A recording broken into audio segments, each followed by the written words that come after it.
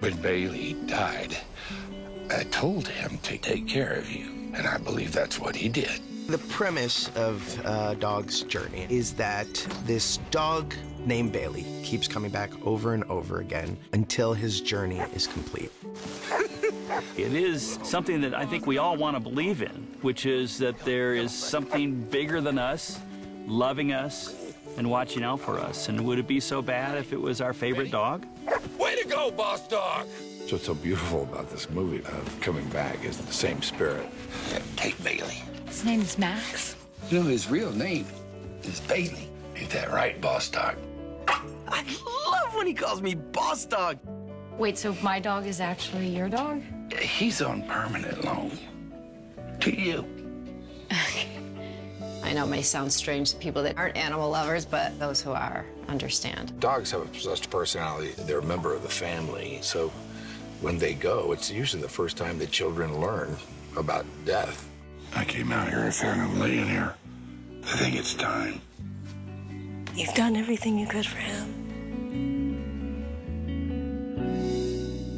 I can't tell you how many times kids come up to me and tell me how unbelievably cathartic this movie was for them, whether it's losing a pet or whether it's losing a person in their lives. Ethan gave me a new purpose.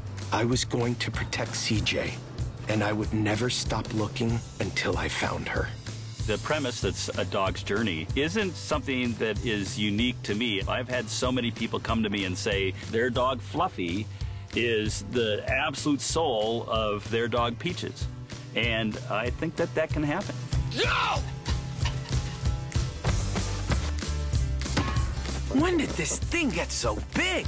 The dog that I currently have is so similar to the dog that I had before him, and in looks and in temperament, and this dog sought me out. You know, there's something to it. CJ is my purpose! I'm coming, CJ! I can't let Ethan down. In a dog's journey, Bailey is an angel dog and keeps returning to take care of CJ. You know, you're dealing with things that may or may not exist in terms of past lives, in terms of a spirit and a heaven. And people wanted to watch something that might be a little more uplifting, that would make them feel better.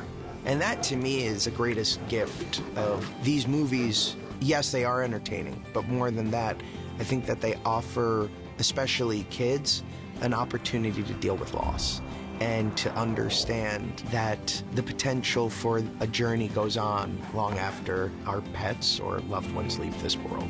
CJ, wherever you are, I promise I'll find you.